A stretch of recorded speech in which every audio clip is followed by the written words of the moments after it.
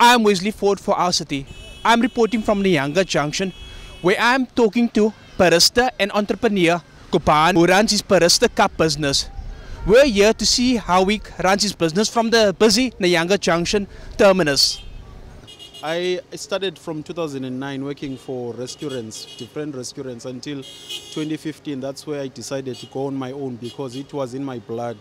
So I thought of bringing good coffee to the community, to the black community in the township. So not to make people go to town in, in, in order to get a good coffee. So the idea started from there, but it's been haunting me since before 2015. I would say 2012. I source my beans at a guy coming from Burundi. So he's a farmer in Burundi. He's, he's farming coffee and then he brings it here in Cape Town. So at the moment what we're selling is single origin, which is just the Burundi. If it's not the Burundi, it will be the Uganda. I used to roast it myself in a pot at home, but because of the numbers of my clients are growing, so I couldn't catch up. The pot is quite slow, so what I normally do, I take my raw beans and then rent a roaster in town or in Woodstock. So the other guys which I rent, it's Camille Coffee or Baseline Coffees. I rent roaster from them and then roast my beans to the certain profile I want. Yeah, it's because there's a lot of fit in it. Nyanga Junction and the terminus. Terminus, it's it's slightly dangerous because of the um, taxi wars, but there's there could be a successful business there. So that's the reason why we are also not there, but we would love to be there, but you might be hit by a stray bullet. You never know. They don't tell when they're fighting. The reason why we open very early is because to catch the people who are taking trains and the taxi drivers, which are like 95% of my customers.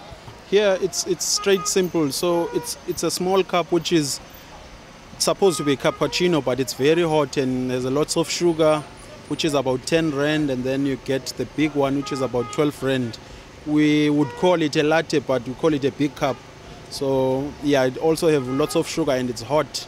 So yeah, would you can call it a small cappuccino and big cappuccino, and then we also have a hot chocolate, which is also the same sizes, small ones and big one. So those are the kind of coffees we do. We, we get people who would want Americanos, but it's very rare, and cafe mochas. Yeah, but where we do fancy stuff, it's in town, where we keep it the right way. Yeah, I would love to expand business going forward. If I didn't have that much fear of going to the terminus, that would be the second, that would be the third place.